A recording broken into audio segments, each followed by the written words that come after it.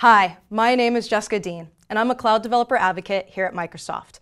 Today, I'm going to show you how easy it is to get started using Visual Studio Team Services and to create a deployment out into a Kubernetes cluster in Azure, specifically using AKS.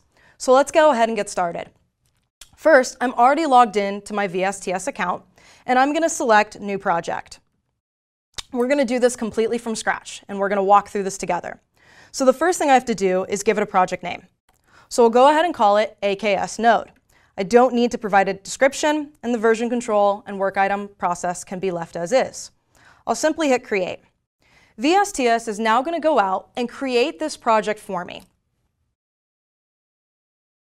Great. And now that the project has completed, VSTS is actually walking me along and kind of guiding me. It wants me to get started with the new project, and it asks me, where can I get this code so that I can start building and handle your deployment? So I can build from a variety of different sources. First, I can push code if I had an existing repository from my command line. I can import a repository from an external source. Uh, and importing means that I am actually taking that code from the external repository and bringing it in to a repository located within VSTS. For those who don't know, VSTS actually gives you free unlimited private repos, which is pretty cool. I can also just initialize a blank repository with a README or gitignore.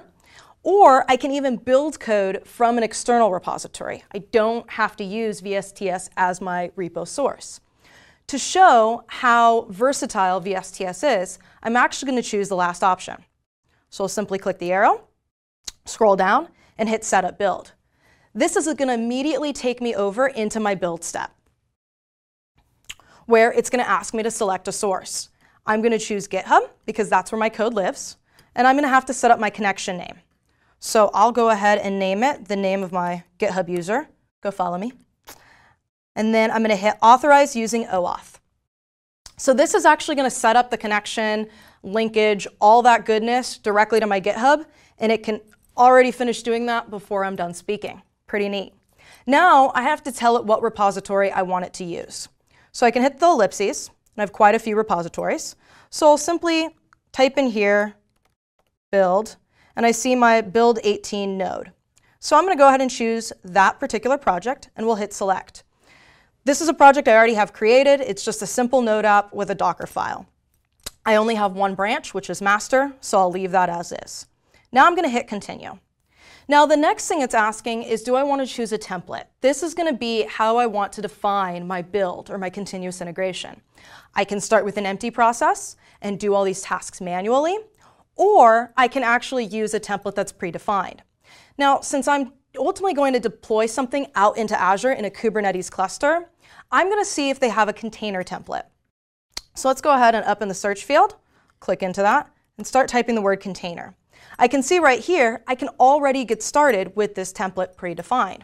So I'll hover over that and simply hit apply. Let's see what this sets up for us. So first, I can see that it adds in two tasks for me. On the left-hand side here, we have what's called a task runner. So I can see it's already set up build and push tasks. Also, I can see that the section that's already highlighted is process. This is my build process where I can give things like a name. And I can also specify things that's agent queue, for example. Now, if you're new to VSTS, you might wonder what an agent queue is. Agents are computers that VSTS gives you completely for free for you to use to define your build. They're computers that are going to run these tasks for you.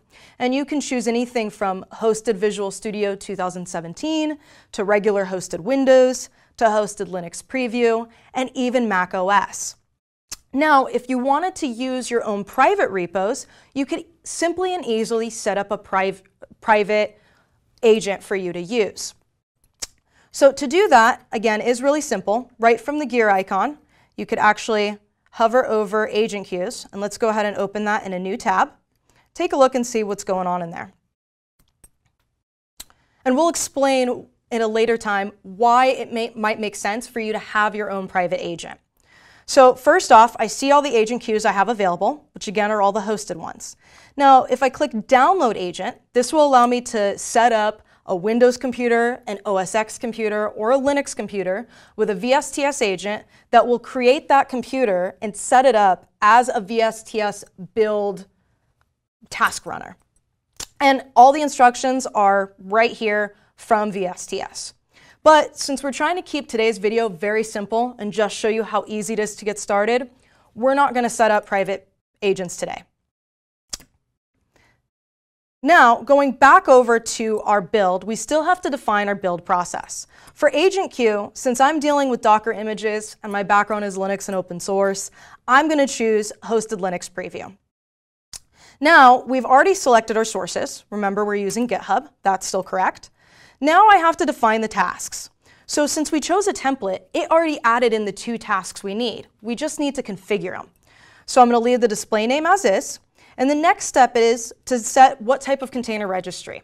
So I'm going to actually use Azure Container Registry, where I'm going to build my image and push it out to ACR.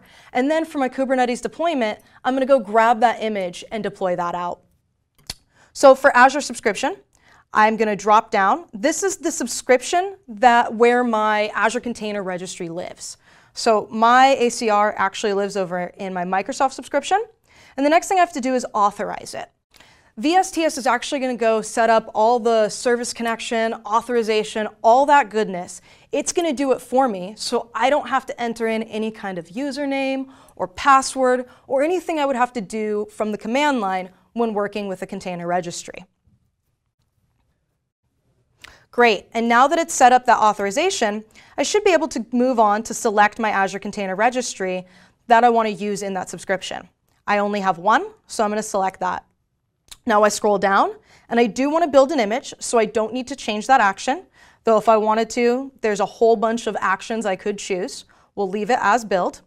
Now I want to direct it to my Docker file. So I'll hit the ellipses and I can see right here the repository files that are available. Here's my Docker file. It's right at root. So I'll select that and hit OK. I do not have any build arguments. I'm going to use the default build context. The next thing is image name. This is how it's going to tag the image when it builds it and then ultimately pushes it. So I'm going to use the build repository name and I'm going to use the build ID. But for best practice for me, I also always like to include the latest tag. And rather than adding additional image tags here, I can simply check the box for include latest tag. It makes it really simple. So for push an image, I'm going to do pretty much the same things that I did in the build an image task. The only thing that's different is I don't have to reset up my Azure subscription. It's already set up as an available Azure Service Connection. So I'll simply select that, reselect my container registry, scroll down again. I do want to push an image, so I'll leave that action. The image name is still the same, build repository, build ID, and I'm going to check the latest tag again.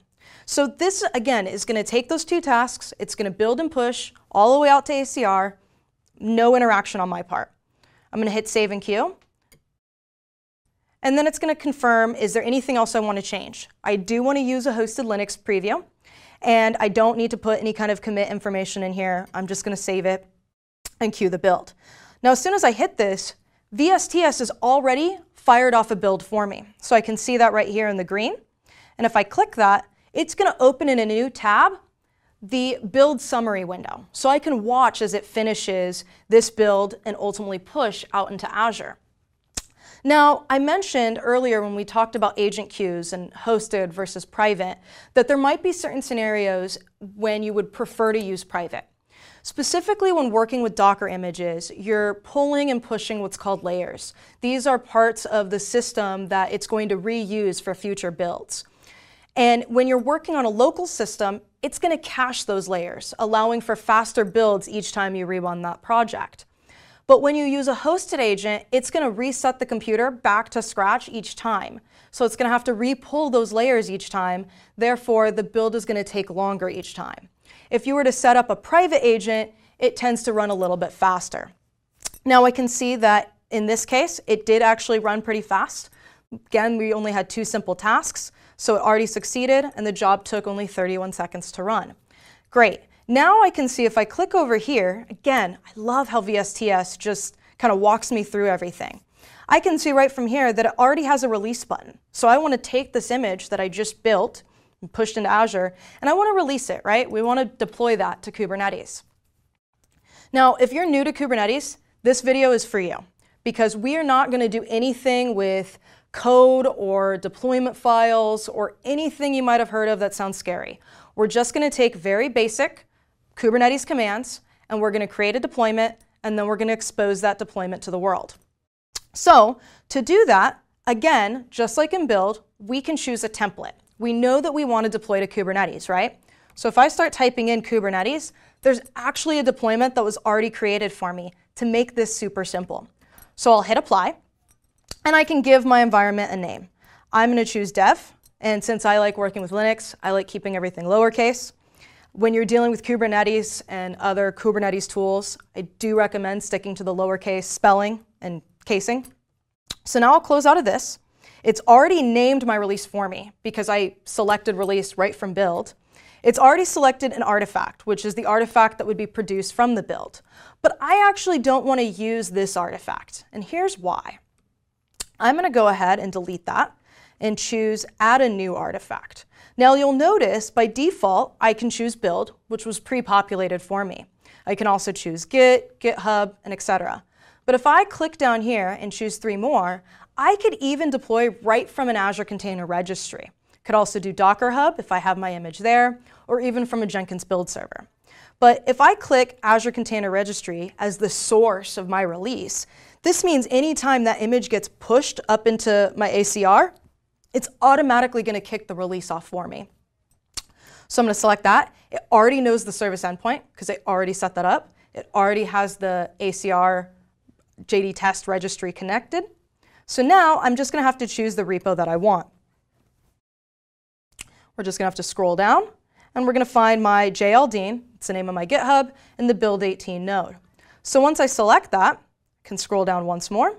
I can see the source alias, leave that as is, and hit add. That's it. So now the build is going to be able to kick off the release anytime the image is pushed to my ACR. Now, to make sure that that's automatic, I can click this little lightning bolt. This is a continuous deployment trigger. It's disabled by default, but I'm going to enable it. Now my artifact and my continuous deployment trigger is set up. I just have to set up the tasks for my environment. So I'm going to click down here into task, and I do, while I'm hovering over this, I'm only going to set up today a dev environment. But in the future, if I wanted to set up QA and staging, Canary, prod, it's super simple for me to clone. I could simply click down here to add a different environment under this phase, or I can hit clone, which is going to take all the tasks and everything I have in dev and it'll clone it over into a new environment. We don't need to worry about that, but I did want to mention it. So I'm going to click down here into phase. And the first thing I'm going to see is deployment process name. We're going to leave it as dev, and I can see agent phase. Now, just like in build, I'm going to have to choose an agent queue again. So again, remember, when you're dealing sometimes with Linux tools like Kubernetes, they do work on Windows, but my background and my preference, I'm just going to go ahead and choose a hosted Linux agent again. Great. So I've selected that. I don't need to set anything else up. Now I just have to figure out the tasks. So if I wanted to use a deployment YAML file, I could choose the kubectl apply task. But since we want to keep this super simple, I'm actually going to do a different task. I'm going to do kubectl run, which is going to create the deployment for me without any YAML files or code or any of that, just one command. And then I'm also going to use the kubectl expose, which is going to create my service for me. So I have to add a second task. So I'm going to add a second deploy to Kubernetes task, and I have two in there. So let's start with setting up our Kubernetes connection. We can change the command later. Again, VSTS always walking me through. Kubernetes connection, I can hit manage. And this is going to automatically open in a new window the services page where I can set up and add that Kubernetes connection. So on the left-hand side, under new service endpoint, I'm going to find Kubernetes. Now I have to give it a Kubernetes uh, name. So I'm going to call it JDK8. Now I have to give it my URL. So there's my server URL. Now the last thing I have to do is my Kubernetes config. This is a file that is located on your system, whatever system you already have connected to your Kubernetes cluster. You're going to have a hidden .kube folder under your home folder. And in there is a config file that has all the SSL cert information necessary for your connection to Kubernetes. VSTS is going to need that information as well. So I'm going to simply paste that in, and I'm going to hit OK. That's it. As long as you've entered that information, your connection's already set up. So I can close this page because I no longer need it. Now, if I refresh, I should now see the connection in my drop-down menu. And I do. There's JDK8. Now, since we're keeping this super simple, I'm not going to define a namespace, but for people, again, if you're watching this video and you're new to Kubernetes, a namespace is like an environment. If you're familiar with continuous deployment and DevOps practices, you have separate environments, right, for dev and QA. Namespace is an isolated environment for your pods or your containers to run in. Your services, your secrets, anything that's created for a deployment runs in a namespace if you define it. If you leave it blank, it's going to deploy out into a default namespace. So we'll leave it blank for today. Now, I mentioned we're going to use two commands, right? kubectl run and kubectl expose. So the first command is run. Now I'm going to give it an argument, and this is the same exact command I would run from a command line. So the first thing I'm going to do is I'm going to name the deployment, right? So the name is build 18 K8's node. Then I'm using the image tag to specify the name of the image that I pushed in the previous build step. And then the port for my application, my node app, is running on 3000. Now, the next stage, again, is secrets. So again, if you're still new to Kubernetes, when you're dealing with images in a private repository, you're going to have to set up what's called a secret. It's a Docker registry secret that stores the credential information to your container registry, wherever your private container registry might be, and it stores it for the Kubernetes deployment. So the deployment can have the permissions to go grab that image and run it. So again, we're going to have it automatically set up my secret. It knows that it's an Azure Container Registry. I'm going to choose the subscription. It's already available. I don't have to reselect it. And I'm going to scroll down and select the right registry. Now I'm going to name the secret my secret. And it's going to force update. If the secret already exists, it's going to update it with the credentials. I still don't need to enter a username and password because VSTS is going to create the secret for me. This is really cool because dealing with it on command line, it can be a little complicated. So this is the easiest way to get started. Now, that run command is set up. All I have to do is take that image and expose it. So by expose it, I mean that I want it to be externally accessible, right? I need to create what's called a service that's attached to that deployment. And the service is going to ultimately create a load balancer that has an IP address that allows me to go out and view where the app is, is located. So let's go ahead and select my Kubernetes service again. Again, we'll leave the namespace blank, and the command this time is expose. Now the argument I need to do is my expose command. So this time I've specified the deployment because I want to do kubectl expose deployment, name of deployment, which is build 18 K8's node. The type of exposing I want to do, or the type of service I want to create, is load balancer. Again, if you're new to Kubernetes, there's three different types of services you can create. Load balancer, node port, and cluster IP. Node port and cluster IP, by default, are internal services only. They are not externally accessible. Load balancer makes your pod or your image externally accessible and actually gives it an IP address. So you'll notice the next part of my command is port 80. That load balancer externally is going to be available at port 80, normal HTTP, and the internal target port for the container is target port 3000. Now again, we're just going to set up secrets just for best practice, make sure that there's nothing wonky or any kind of weird issues. So we'll choose the same subscription again. We'll choose ACR JD test, and the name of the secret again was my secret. Force update secret again, and that's it. So we have two commands, kubectl run and kubectl expose. All we, that's all we need. So now I'll hit save. I can add any comments I need to here just to when I'm communicating with my team. But I don't need to, so I'm going to hit OK. And as soon as that saves, I'm going to be able to hit release. So I see that that's saved, so I'm going to go ahead and select release. And I'm going to choose that I want to create a release. Now this is going to ask, do I want to do this in the dev environment? I do. What artifact do I want to use? So the artifact, remember, was what was pushed to my Azure Container Registry. But what version do I actually want to deploy? I can scroll down here and I can choose any of the build numbers or I can choose latest. I chose to push the latest tag for a reason because I know whatever build I just built was already retagged as latest.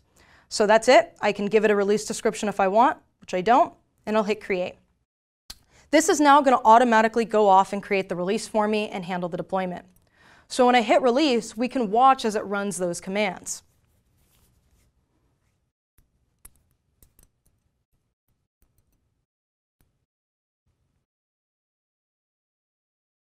So I can see here the deployment status.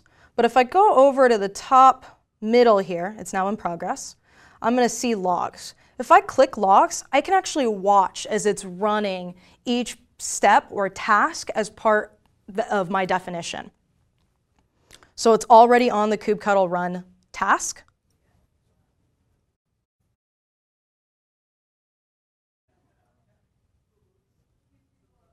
And I can see that it's now completed successfully. So if I want to figure out where my uh, app just got deployed, I can do one of two things.